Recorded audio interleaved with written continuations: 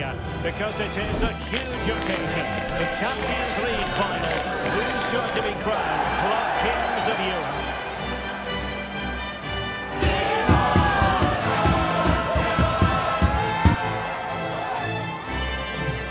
It's Manchester City. They face Bayern Munich and it's live next.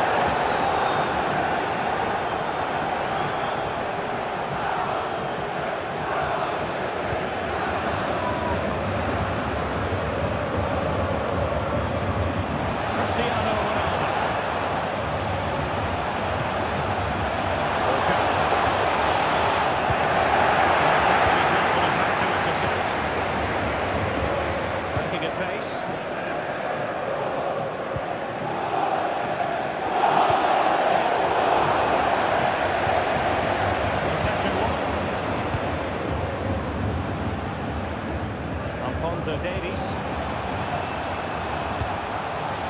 And support available.